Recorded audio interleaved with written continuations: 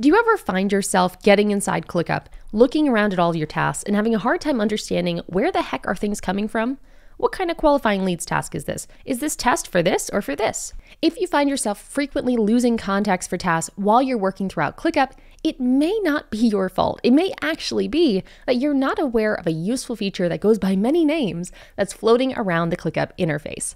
By default, when you are creating a list view higher up in the ClickUp hierarchy, I'm talking a folder, a space, or at everything level, you're going to see this kind of layout where the default list view is going to be grouped by status and show you the actual list names of each list inside your given space or folder. But what happens when you want to group your main list by something other than status? Perhaps assignee. When you're grouping these large areas by something other than status, that list sorting kind of disappears. You no longer have context what lists these tasks are coming from. They're just kind of all mixed together unless you turn on the breadcrumbs feature in ClickUp, and that's your quick tip for today. So if I go into this actual view, so this is a view by view setting, I can go into show and then show task locations or locations on task. With this adjustment, I can now see the location of each individual task. So if I go in here, you'll see this is a task is from the team directory. Time off request is this test one, and it shows me exactly where each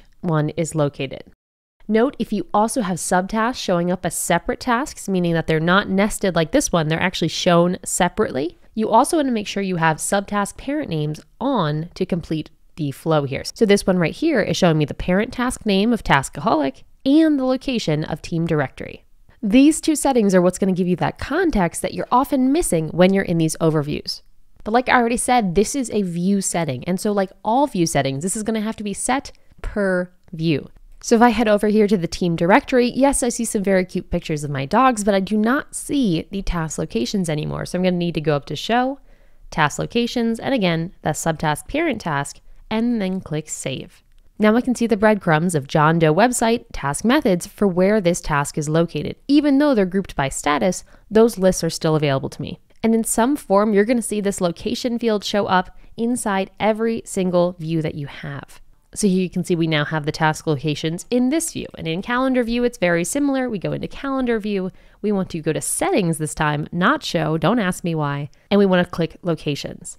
Now, if you haven't already gathered by the quick tour of these four views, one of the biggest, most confusing elements of breadcrumbs in ClickUp is the fact that they are called different things in different areas. Here on calendar view, you have to go to settings, and then you can see location, folder, and list name. In workload view, it's under show, and it's called just location. In board view, you have to go under show, but it's called task locations and it's at the top. In list view, you have to go to show and it's called task locations at the top. You can also have task locations show up in your home view where you can have show location breadcrumbs on task. Please do not let this confuse you. This is the same feature. It just changes name throughout the interface. So here we go. We've got location breadcrumbs on task. We can turn on or off in the home, my work section. If we go to dashboards, we can enable the same thing. So if we go to editing mode, we go to a task list widget, we can choose to show breadcrumbs. Again, different name, same exact feature.